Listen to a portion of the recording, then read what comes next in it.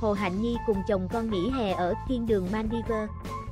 Gia đình Hồ Hạnh Nhi tham gia lặn biển, đi du thuyền ngắm hoàng hôn, xem cá heo và cá voi trong kỳ nghỉ ở Maldives. Vài ngày trước, gia đình diễn viên TVB Hồ Hạnh Nhi đưa hai con sang Maldives nghỉ hè. Địa điểm này khá quen thuộc với người đẹp Hong Kong, nơi cô và chồng từng đi nghỉ tuần trăng mật vào năm 2016, sau đó tới nghỉ dưỡng cùng hội chị em TVB năm 2019. Cuối cùng, chúng tôi cũng đã quay trở lại thiên đường, Hồ Hạnh Nhi viết. Lần này, gia đình cô lựa chọn nghỉ dưỡng ở Patina Maldives, một trong những resort sang trọng và đẳng cấp bậc nhất tại Maldives. Nữ diễn viên phim Mẹ chồng khó tính cùng ba con trai tận hưởng những ngày biển xanh nắng vàng. Brandon, Ryan và Liam thường xuyên được bố mẹ đưa đi du lịch quốc tế từ khi còn nhỏ. Nữ diễn viên và chồng đặt tour du thuyền ngắm hoàng hôn và xem cá heo trên biển. Đây là trải nghiệm khá phổ biến tại các resort ở Maldives.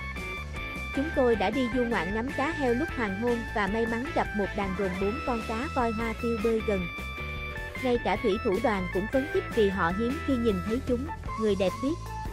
Chiều nào, cô cùng các con cũng đi dạo trên bờ biển và ngắm mặt trời lặn. Khu nghỉ dưỡng này nằm trên đảo riêng tư thuộc quần đảo Fari. Mang đến cho du khách không gian riêng tư, yên bình và gần gũi với thiên nhiên. Patina Maldives được thiết kế bởi kiến trúc sư Marcio Kogan. Nơi đây không chỉ là một khách sạn đơn thuần mà còn kết hợp hài hòa giữa thiên nhiên hoang sơ và sự sang trọng, tinh tế. Khoảnh khắc bình dị của gia đình Hồ Hạnh Nhi và doanh nhân Philip Lee.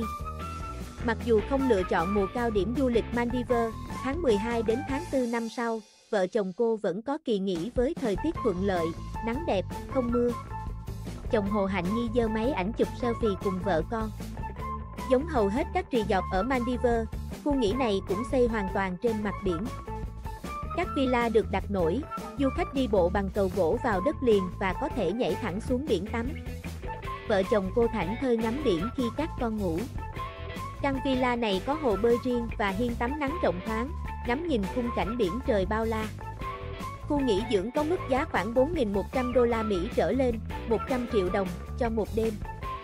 Đây là mức giá khá cao ở Maldives nhưng so với những lần ghé trước, đây vẫn là mức bình dân.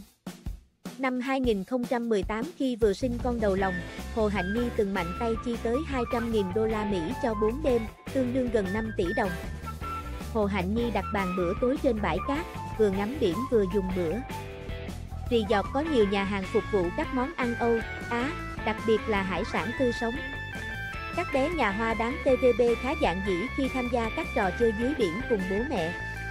Trong chuyến du lịch Phú Quốc hồi đầu năm ngoái, các bé cũng tham gia bơi lội, câu cá, lặn biển, mò cua ốc. Các bạn hãy đăng ký kênh để cập nhật thông tin miễn phí mới nhất.